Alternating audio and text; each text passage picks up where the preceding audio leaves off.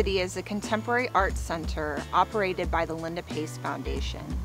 Our mission is to provide free contemporary art and programming to the communities we serve. So to think a little bit about the timeline of Ruby City, we started out as a Linda Pace Foundation, which was founded in 2003. And during that time, Linda, she had amassed this massive art collection. She had been collecting art from not only uh, national and international superstars, but also collecting a large amount of works from Texas-based artists and San Antonio artists. Linda knew that this collection was special and it was something she wanted to share with the community. And not only did she want to make it public, this collection, she also wanted to make it free and accessible. So we continue to have free admission here at Ruby City.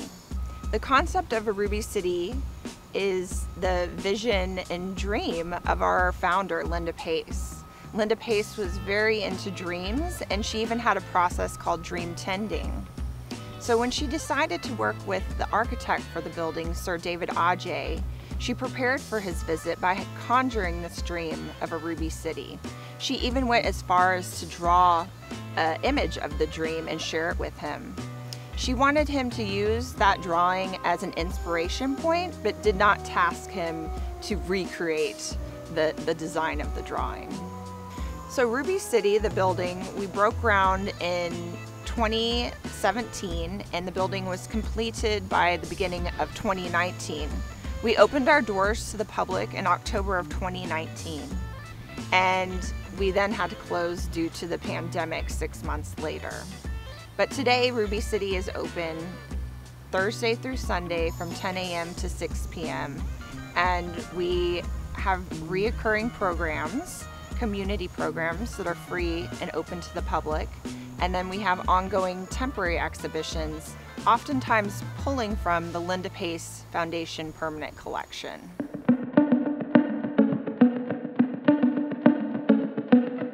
So Ruby City offers an array of programming that is free and accessible to the public. Uh, primarily, we put on exhibitions, oftentimes pulling from the Linda Pace Foundation Permanent Collection and we offer community programs. Some of the reoccurring programs include Music in the Park, which takes place here on our campus. We have a lot of outdoor facilities. We also have a meditation series that we offer outdoors where people can come and meditate, which is a reoccurring program.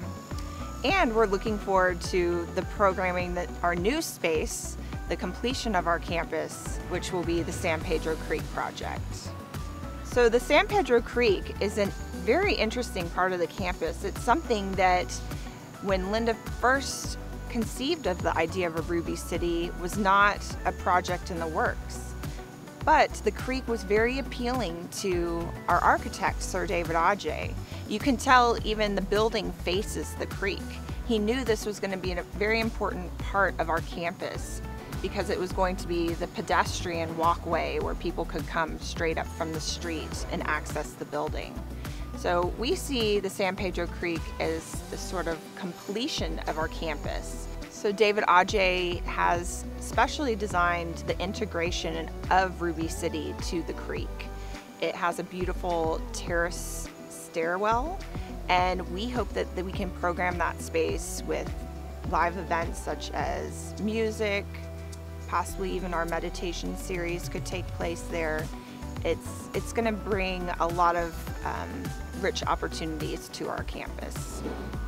So one thing you will notice when visiting our campus, the color red is very abundant.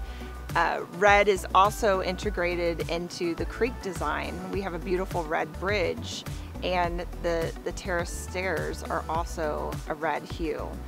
The color red was very important to Linda, and I like to joke that it goes back to Pace Picante sauce, which is the source of her wealth. Her father invented Pace Picante sauce, and then her and her husband purchased the company from her parents and grew it into a very profitable business.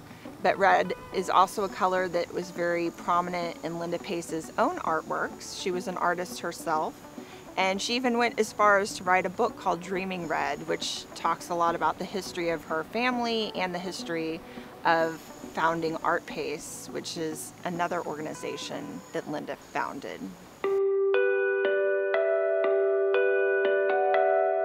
One of the unique things that Ruby City embodies is the collection is very rich with Latino artists and especially artists from our own community that have grown up here on the west side, south side, and east sides of San Antonio.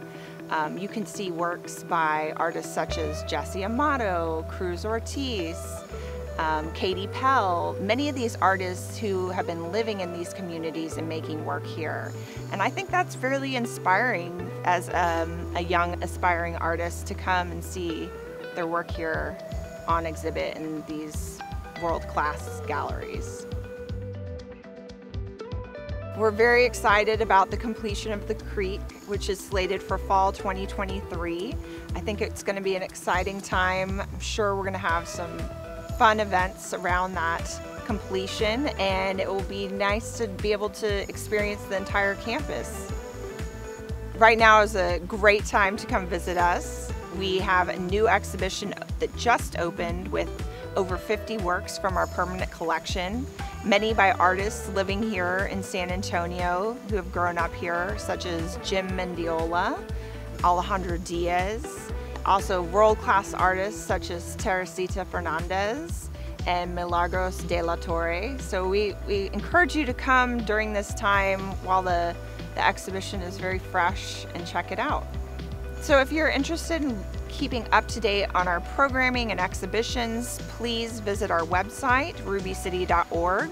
You can also follow us on Instagram at Ruby City or Facebook. We are very active on our social media sites and you can also sign up for our newsletter which visiting our website will, will help you do that. You can view this video and other virtual series on our Facebook page or our website at spcculturepark.com. Thank you again for joining us and we'll see you again soon.